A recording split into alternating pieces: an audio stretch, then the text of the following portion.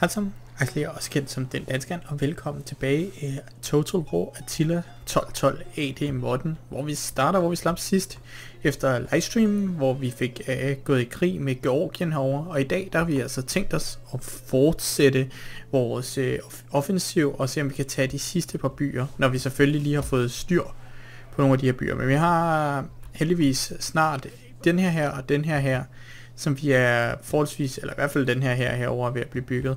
Og så en ekstra her her, vi kan sende mod nogle flere Georgiens områder. Det smarte er lige nu, er, at vi har slået Georgiens herre, og øhm, har taget to af deres byer. Så øhm, det er blevet meget, meget mere stabil situation, øh, vi har her øhm, i landområdet nu.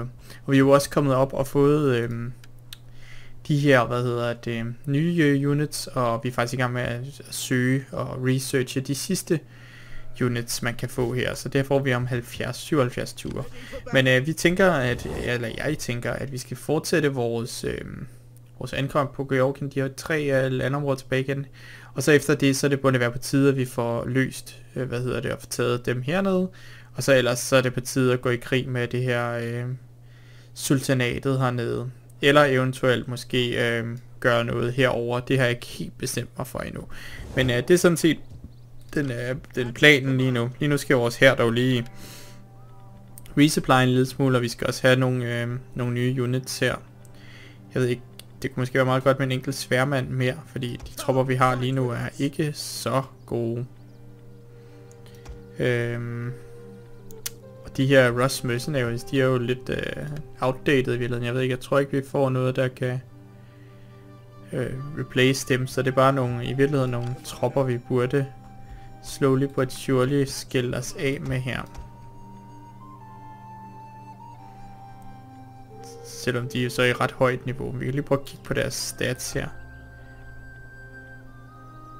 Deres mail attack er højere, men øh, de, er, de er faktisk ret gode. Okay, vi skal da se af med dem. De er åbenbart stadig ret decent.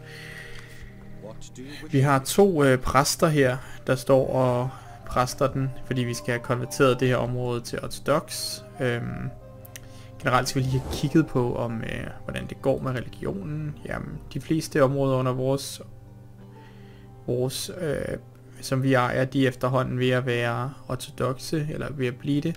Public order, der at vi ved at få styr på det herovre. Vi har stadig rigtig mange problemer herovre. Jeg tænker, vi holder den her her den her her i de her områder, for ligesom at... Øh, øh, at holde styr på det. Så ved jeg ikke, om vi kunne... Desværre stadig ikke race fleet. Det fungerer ikke. Desværre. Men øh, vi er i gang med at øh, opbygge de her her lidt mere, og dem her, det får lige en enkelt sværkriger mere. Man kan aldrig få for mange sværkriger, og så har vi fire heste.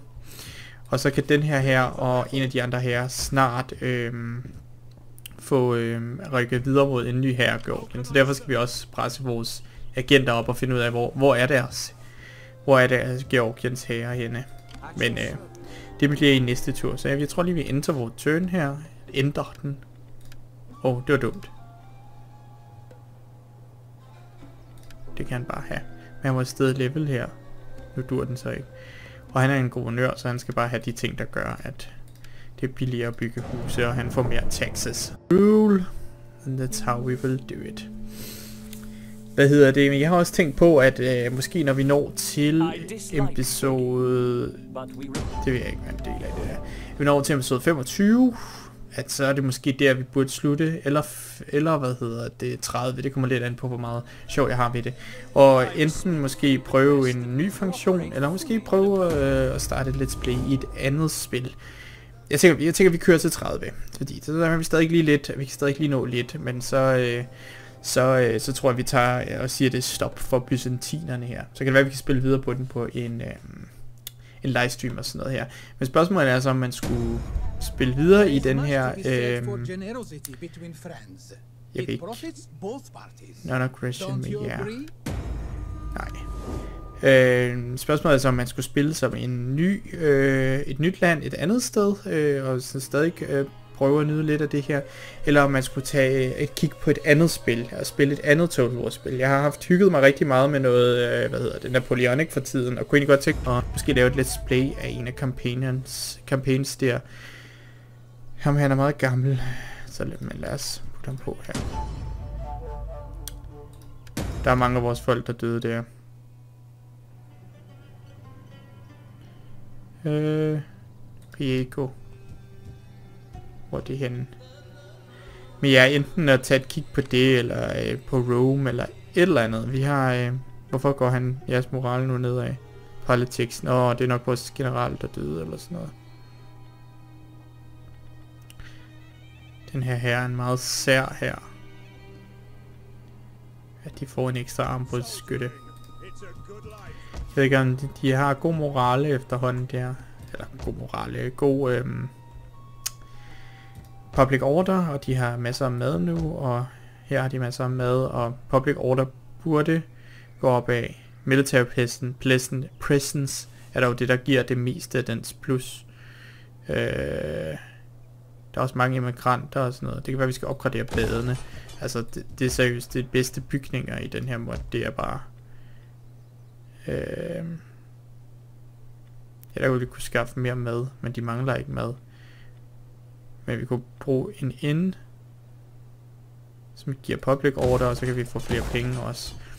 Så det er nok det, vi gør her. Øhm, dem her, de var lige i gang med at recruit ind her. Men ja, vi skal have styr på det område heroppe. I virkeligheden, så burde vi måske sende en af dem her hertil. Øhm, for at tjekke, om vi kan om vi kan få styr på øhm, og få gjort det mere vores tro i det område. Her der er de allerede blevet ret meget vores tro. Øh, så den her kunne måske også sendes. Hvor har vi øh, grænsen henne? Den har vi der. Så hvis han løber herover, så kan han begynde at, at konvertere det område. De er ikke engang særlig meget minus, det er meget sjovt. Men de har også en, øh, en bygning her, der bare giver public order. Det er en galge, eller sådan noget. Nej, det er en gabestok. Næste det er gallows, og hvad den sidste? Kort. Hmm. Så er det en city garrison. Hmm, det er måske ikke en dårlig idé at opgradere den. De har mad nok. Og lad os også opgradere den her. Så de kan blive i gang med at bygge castlet til at være vores castle. Så det er fint nok. Så om ikke så lang tid, så vil vi nok kunne sende den der unit afsted faktisk. Vi har en copper smelter, fishing port. De mangler generelt noget, øh, noget, hvad hedder det, sanitation herovre, men det ser dog ud til at være fint nok. Lad os lige prøve at kigge, om vi kan finde, spotte fjendens her et eller andet sted. Det kan vi ikke. Okay, så næste tur er så den her her, og den her, de kan så rykke ud står de også lige at få lidt flere reinforcements. Dem her, de kunne måske få en enkelt... Jeg synes, der er købt en mand til dem sidste tur. Nå, gør vi anyways. Sådan der. Og ham her, han er sted level. Han er en general. Så lad os få givet ham op i nogle ting, der giver noget bedre general ting. Boop. Hvad har vi her? Der havde vi en lille her, der... Det var også, de var også i gang med at bygge en ekstra unit, ja. Det er ikke den bedste her, den her. Den er godt nok... Øh, den har meget kavaleri dog, så hvis vi bare kan holde en lille linje med det her, og så bare sværme dem med kavaleri, så er det selvfølgelig ikke helt dårligt. Øhm, lad os lige kigge hen over riget og se om der er nogle steder, for eksempel her, der er public order et problem. Men der stiger den her, den giver ekstra public order i forhold til hey, den giver den samme public order. Hvis vi opgraderer den til det, så giver den mere public order. Så det er en eventuelt en måde, vi kan gøre det på. Her var der vi også minus 1. Hvad er det der? Religious differences. Vi er jo nærmest fuld ortodoxe herover, eller det er vi ikke. Hvordan øh, ser religionen ud? Det går opad. Så jeg forstår ikke helt, What the problem is. Hernede der går det dog ikke op eller noget. Men øh, den er der dog forholdsvis styr på. Godt bruge en eller andet, der kunne give dem noget sanitation dernede, men øh, generelt et problem med det der sanitation alle steder. Øh, sådan der. Okay. Umiddelbart så tror jeg ikke, vi kan noget, vi kan... Jo, den her kunne måske give mere public order. Giver mere sanitation. Giver ikke public order som sådan, men den giver mere food consumption. Hvor meget mere? Lad os sige, vi har 30, og den kræver 60, så kommer den op på 100, så det er ikke så godt. Så det må vi hellere vente med. Det er også fordi, vi har en ende, der bare står og kræver mere mad. Den kunne vi så opgradere for ekstra... Øh, har vi sanitation nok til det? Vi har kun én. Så det, det kunne vi faktisk ikke. Det giver alligevel lidt meget mere. Hmm. Så det lader vi bare være med. Vi får alligevel så mange penge, at, at det sådan set det bare handler om, at områderne skal være glade nu. Øhm, ja, så vi tror, vi ændrer turn. Vi har en karakter, der lige har stedet level, en guvernør, så ham kører vi ned mod hov. Jo, man skal have det Dut, dut. Og han kan få noget mere influence. Boop. End turn.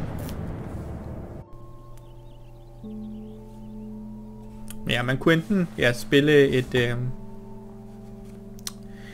spille en af de her, hvad hedder det... Øh,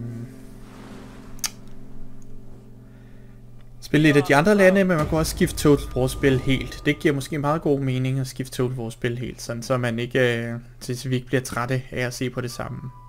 Så ja, op til 30 ture, og så måske noget Napoleonic, eller noget Rome, eller øh, hvad hedder det, noget Shogun, det må vi lige finde ud af.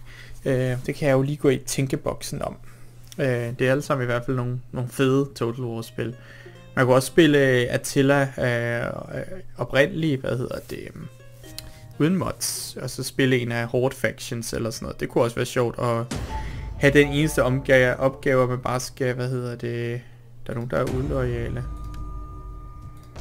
Hvem er illoyale? Det var ikke det, jeg ville.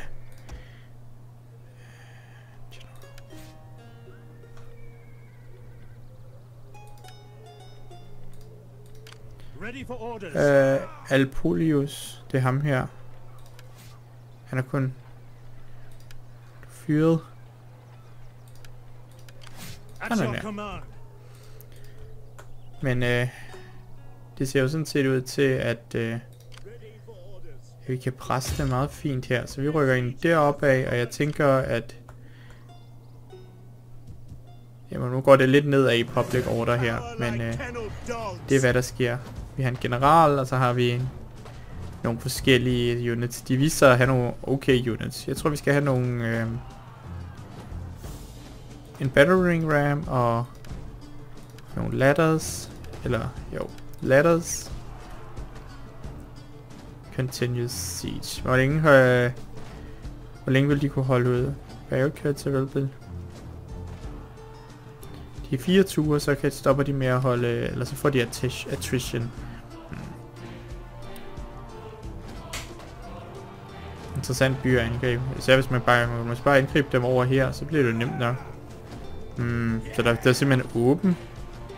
Øh, så ser jeg sgu ingen grund til, at vi skal vente. Ja, vi har jo også artilleri, så... Øh, så det, skulle, det bliver sgu noget, vi klar, det ordner vi med det samme. Og vi skulle ind på slagmarkskort. Øh, som I kan se, så er det dejlig vinter, og det jeg havde troet, vi kunne komme over, Ja, det er en bro, som simpelthen ikke er der. Øh, så, så det skulle... Øh, det er sådan set lidt noget juks. Øh, men øh, vi har jo heldigvis øh, vores de her, hvad hedder det, øh, vores katapulter, så vi har en, en stadig en ret god mulighed for at kunne komme ind i deres by. Mm, der er et port herover. Øh, den er sådan set meget sjov. Øh, den kunne man, den kunne man angribe, men ved du, det tror jeg vil give for store. Jeg tror, vi skal angribe sådan bare direkte på her. Øh, men det første vi gør, det er, at vi selvfølgelig trækker vores her lidt tilbage, så vi er sikre på, at den ikke bliver beskudt af, af dem. Så tager vi vores bueskytter her. Vores nice bueskytter. Så sej ud. Vores øh, rytter contention her. Vi har jo fået de her nye, den nærmest super heavy. De ser ret nice ud. Det er sådan nærmest cataphracts, ligner det. Og den der, og vores general har vi her. Sådan der. Øhm, og vi har vores øh, sådan super heavy shock cavalry, der bare kan charge ind her. Så øhm, jeg tænker, det giver god mening at bruge øh, flaming round.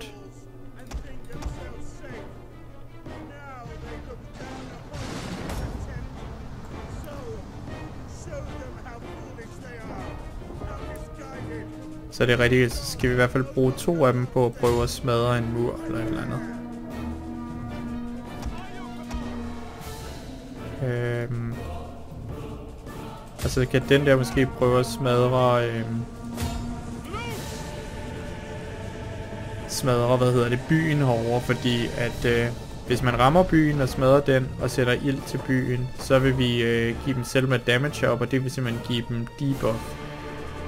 Øhm, selvfølgelig. Måske skal vi starte med lige at få lavet et hul, så vi rent faktisk kan komme ind.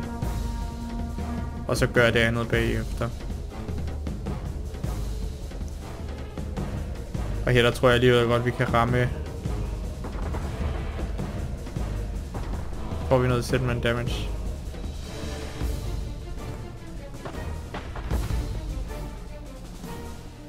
Måske, måske ikke. Men det er det gode ved at have... Hvad hedder det?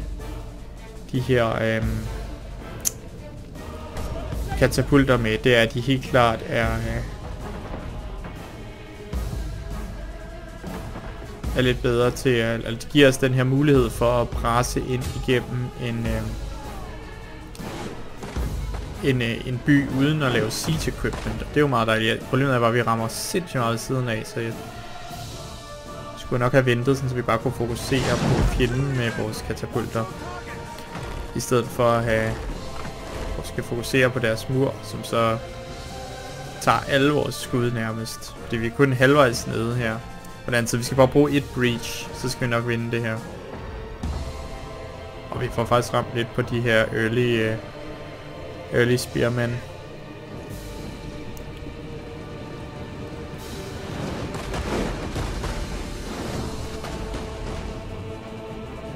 Desværre ikke nok.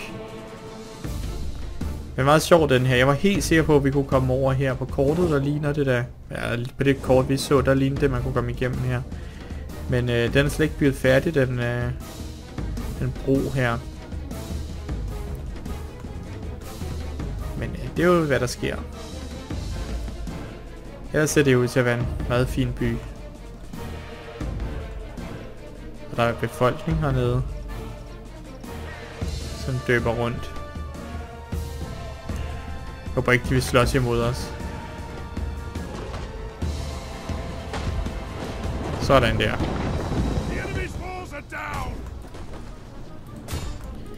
Lad os brænde deres by.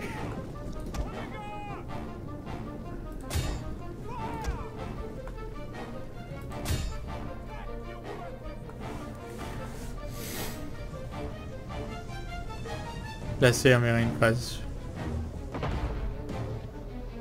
får sat ild til noget her. For settlement damage op.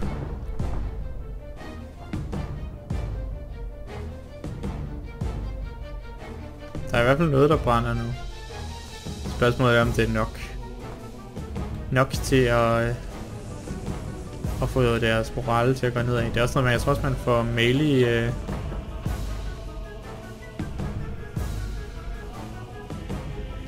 så ikke det gør den store forskel.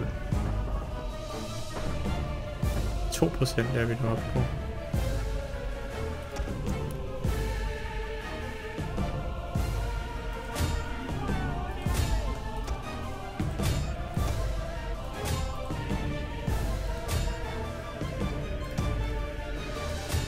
Lad os begynde at rykke tropperne fremad.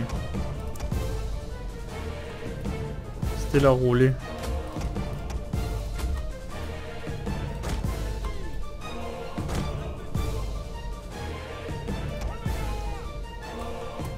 Lad os se om det her settlement damage, det har stadig ikke rigtig gjort det store. Ikke meget, vi har fået sat i det.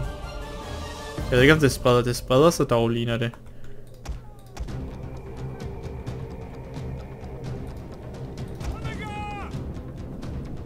Så måske er det okay. Kan vi se på deres morale her. Morale, morale, morale. General life inside fort. Hmm.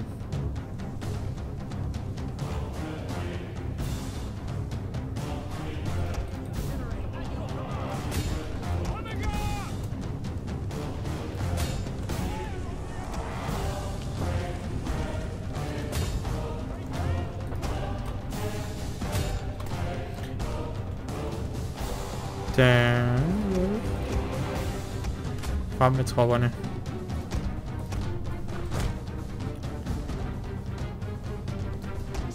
Det kan være, at vores bueskytter også bare skal køre den vilde flaming.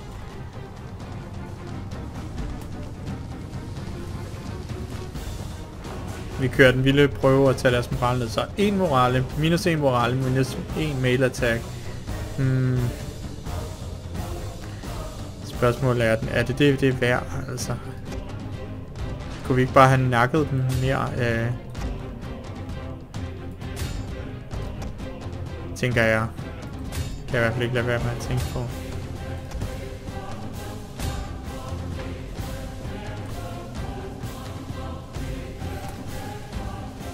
Det ligner ikke rigtig, at ilden den spreder sig.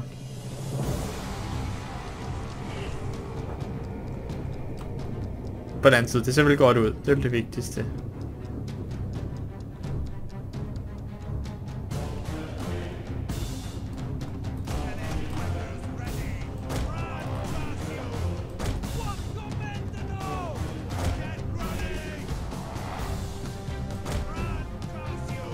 Skal bare lige have tropperne ind her.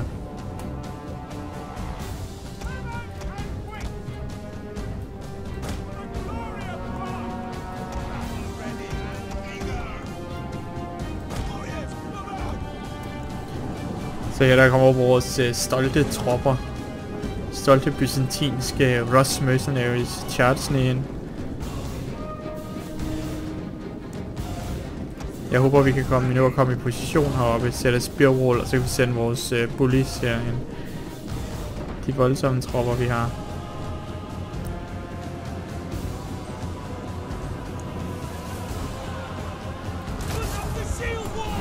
shield wall!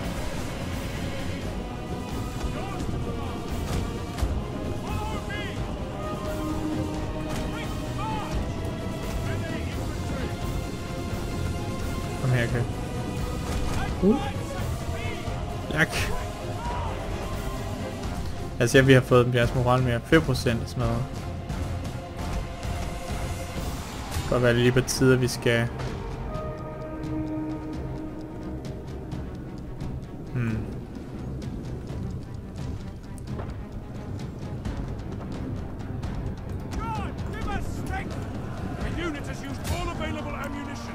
bruger vi vores øh, charge fædre her.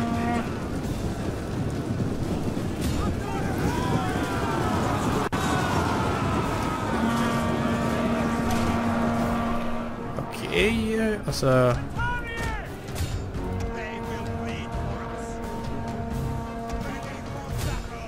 Lad os prøve at se, om vi kan smadre. Dem der og den der. Fly, you fools! Kan ikke bare droppe det og så flygte.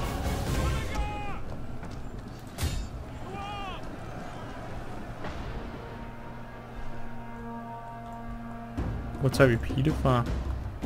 Det er lige, vi tog pile helt overfra. Godt, vi skal have vores general op og hjælpe.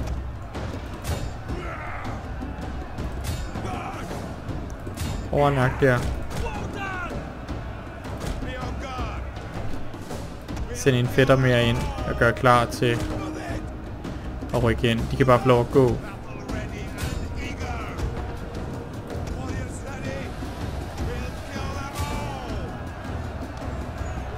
Så kan vi sætte alle vores buskytter til bare at skyde på dem herovre.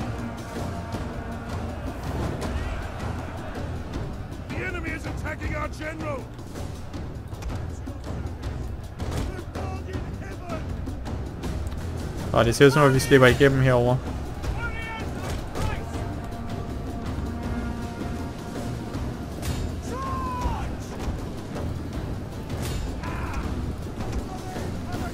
Det er ikke alle, jeg vil vælge. Og sådan der.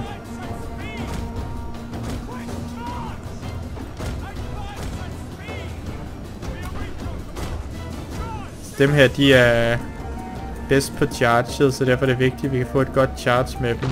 Øh. The håber ikke, vi mister for mange trumfer us. det der. Så nu kommer vi her bagfra. Tjachi, tjachi!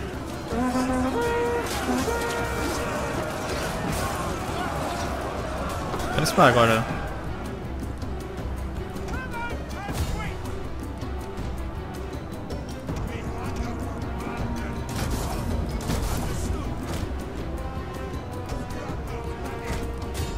Hvordan ser det her settlements skade? Det fint nok. Spørgsmålet om vi kan... Har vi har noget melee cavalry? Lad os få det ind og nakke dem der. Sådan der.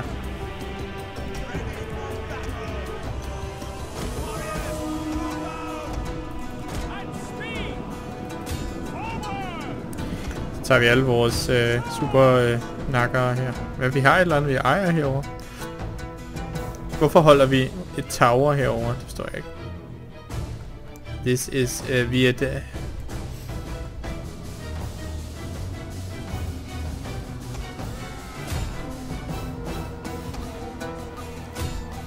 Så prøver vi lige nu at nakke den her. Uh. Vi skal slå på den for helvede.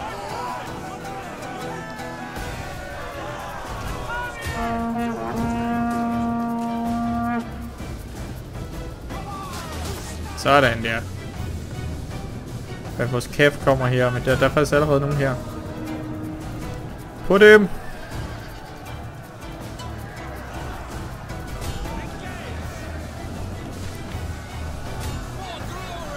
For glory! Og vi skal ride flere fætter ind.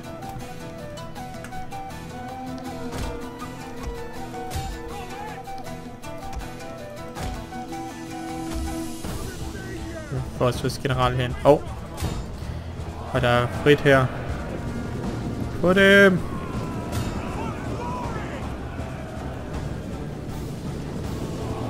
Kommer min, øh, min crazy horde her. For at fange dem. I will take you alive! Yes. Men det er altså vist nogle tropper, der er okay til at slås i melee, hvis jeg husker.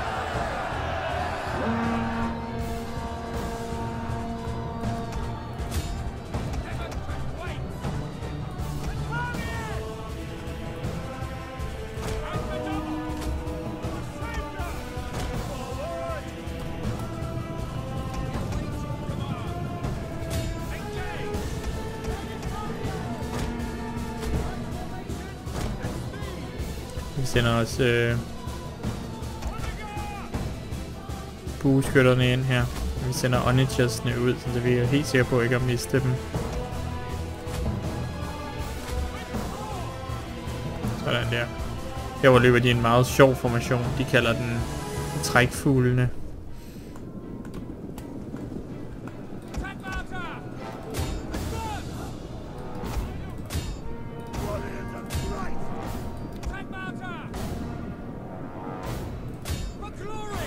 De her, de er med gode til at nakke øh, heste.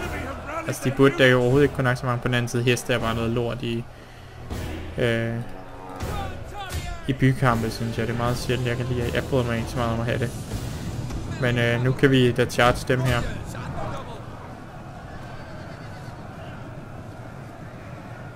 Og håber vi. Åh oh, nej. Øj, der døde mange af vores heste på grund af det tårn der. Det er sjovt, de smadrer tårnene, og så dør rigtig mange af vores tropper bare.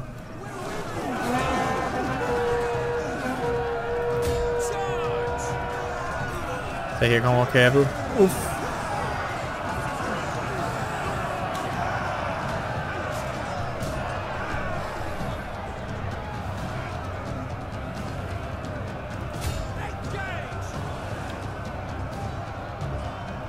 Det ser ud til at gå meget godt, det der. Herover der øh,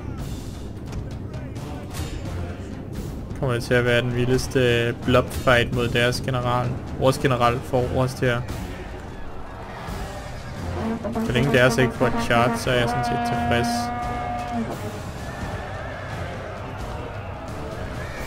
Og infen kommer jo lige bagefter, så...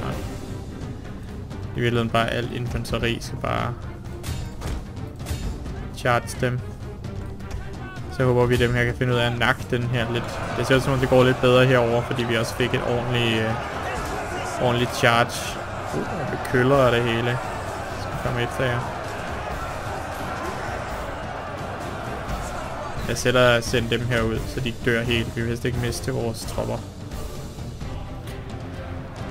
Goodbye. Så har vi kun vores øh, super heavy her.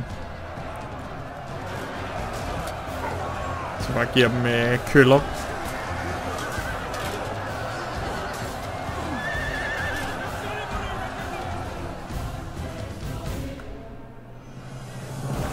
Og de vil bare heller ikke slå dem her over ihjel.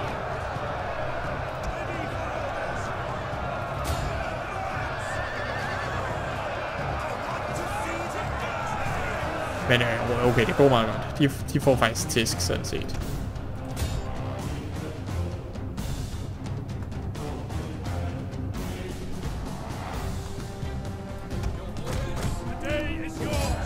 Det gik jo meget fint, sådan set. Ja, så det var jo et, et godt move af os, det her.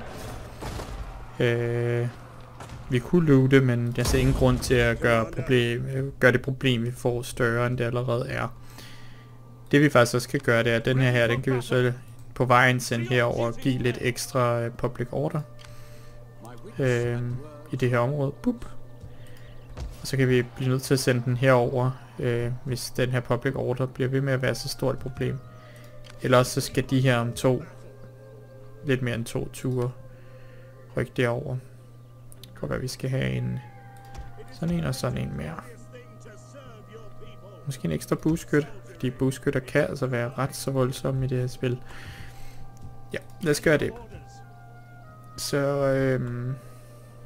Jars. Den her er snart klar, men øh, det, det her område kommer først til at være klar om lang tid. Øh, de har minus mad, så vi skal opgradere dairy farmen her. Den her, den giver public order, så det er måske et godt bud på noget. Øh, beholde.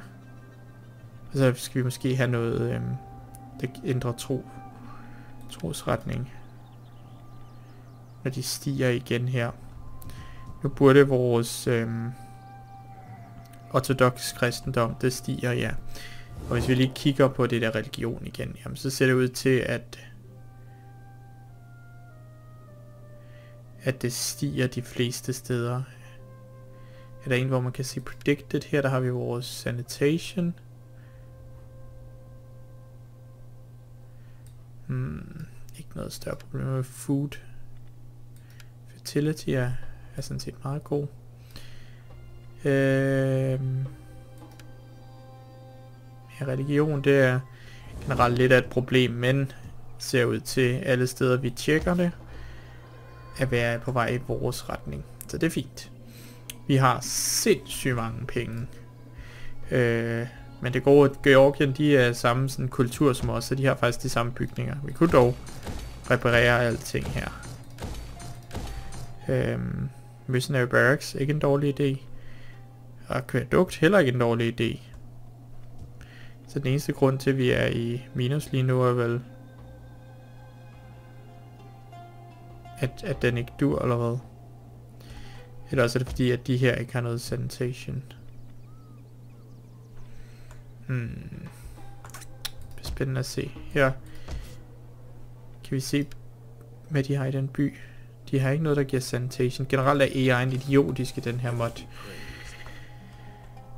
Men det er jo sådan, det er. Lad os sende vores... Det skulle lidt tid siden, vi nakkede ham. Det er deres her. Så det må jeg godt lige holde øje med, hvor deres her er. Hvorfor går vores moral ned? Politics. Så de får minus lige nu. De her, de får minus... attrition. Hvorfor får vi attrition lige nu? Vi burde da få tropper op. Det kan være det, fordi de har været ude i kulden. Det er nok det.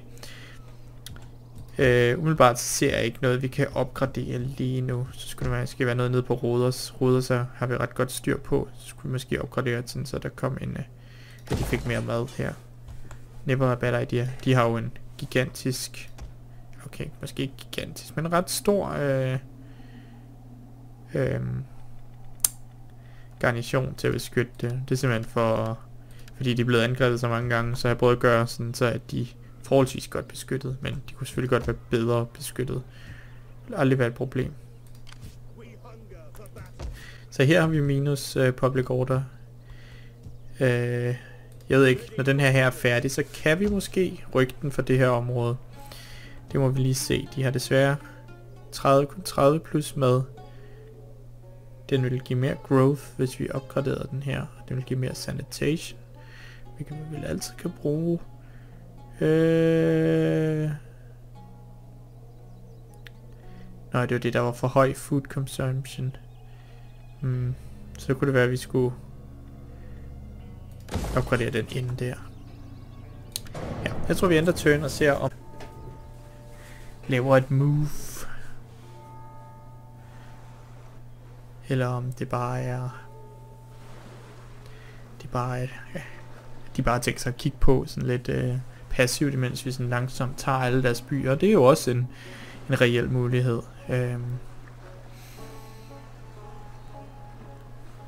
Det er i hvert fald noget, AI'en godt kan finde på i det her spil, synes jeg. Sådan bare Især ikke så meget i base, men lidt mere i uh, den her mod her. Det er ligesom om, at den AI'en har lidt svært med at finde ud af, hvad fanden den skal gøre. I løber bare rundt ind i vores landområde. Will you sit like old men in the shade Men er I ikke vores... De er vi vores vasal.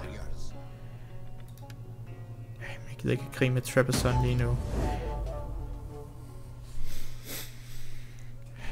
Desværre. Nej, jeg vil ikke i fred mere. Uh ja, de, de ved godt, vi kommer derop næste gang. We will be coming for you. Hvem er illoyal? Nå, det er måske guvernøren her i Konstantinopel. Og jo, her er vi ved at løse vores problemer ved at bygge det her arsenal. Med at der var generelt minus i øhm, public order. Vi giver noget B. Øh, kan vi gøre noget, der giver mere public order? Sådan der.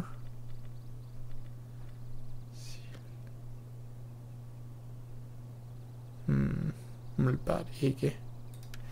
Fjerne corruption. Kom her sted level. Er der ikke en af dem her, der giver ekstra integrity? Jo, det er den der. Valp movement speed er aldrig en dårlig idé. Så hvad med dem her? Er de glade nu? Politics minus 1, ja. Men det er fint. Den der burde kunne holde stand lidt længere ind til at de her de er klar om et par ture. Jeg ved ikke om her. De kan nok ikke. Der er 14 minus. Det er helt sindssygt. Hvad med her? 9 minus. Hvad er det, der giver så meget minus? Taxes? Religious differences? Mm, political situation? Hvad er vores political situation? Øh, det er det første steder, jeg klikkede. Det er der, vi skal ind.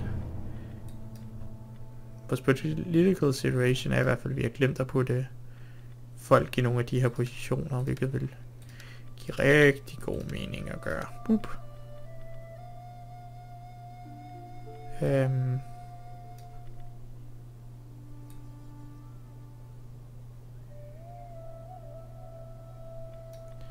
Generelt mangler alle dem her lidt en kone.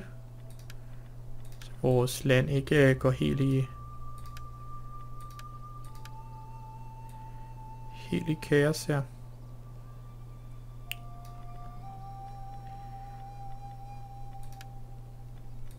Der er ikke nogen af dem, der kan være noget af de her Alle dem her, de kan være alt muligt her, så det gør vi.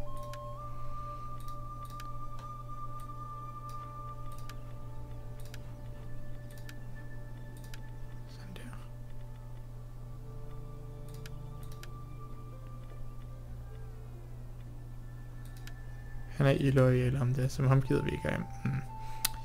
Vi har generelt ikke så meget power, men det er også fordi vores familie lige pludselig er blevet meget lille, fordi vi kun har fået døtre, åbenbart. Hmm.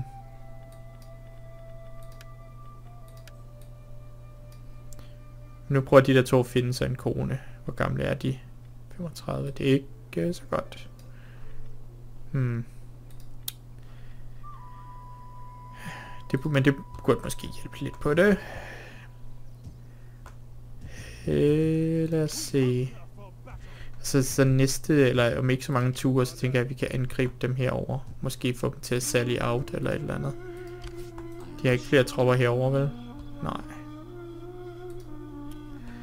Hmm. Jeg tror bare, vi ændrer turn. Og ser, hvad der sker. Jeg tænker mig at lave en sally out. We find our coffers temporarily empty. I don't want to do that. I dislike begging. Jeg vil heller ikke gøre det der. I won't do it. I won't do it, young blood. Jeg gider ikke at lave alle mulige alliancer med alle mulige små. Det giver ikke så meget, meget mening for mig. Mm.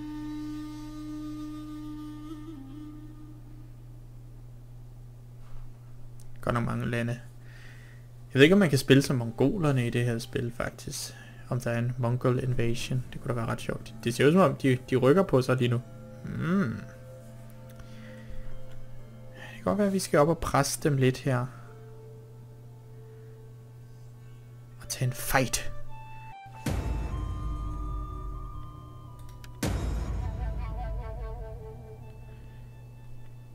Øh...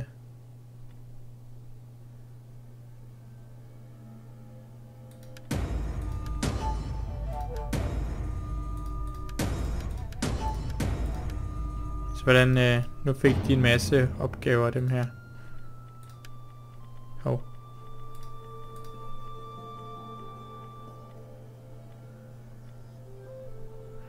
Hmm. Hvad med dem her? Fik, de fik begge to en kone. Godt. Som er lige så gamle som dem. Hvilket ikke er så godt, fordi så får de måske ikke nogen børn. Øhm. Så jeg kunne godt overveje, om man skulle... Man skulle løbe op og, og lege med dem heroppe. Sådan her. Hmm. We cannot do that. I'm afraid we cannot. Det kunne vi så ikke rigtig få lov til. Det kan være, at vi kan det snart. Den her kunne opgraderes. Hvorfor er de 13? Change per 13. Instability. Political situation buildings.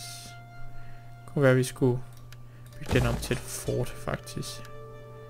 Det tror jeg, vi gør. Uh, Spatorio Guards. Er det noget, vi får i... Sådan en får vi åbenbart i alle vores byer. Not bad, not bad. Ready for battle. Øh, sådan der. General. Hmm. Men øh, jeg tror egentlig også, at det må være slut på denne episode. Vi ses næste gang, hvor vi øh, angriber Jabish herover Og så øh, håber måske, at vi snart gøre det helt af med Georgien. Jeg har stadigvæk tre byer, men øh, vi har da presset dem ret meget. Men jeg husker at give videoen et like. Det hjælper altså vidt min kanal. På Danskeren. Sign off.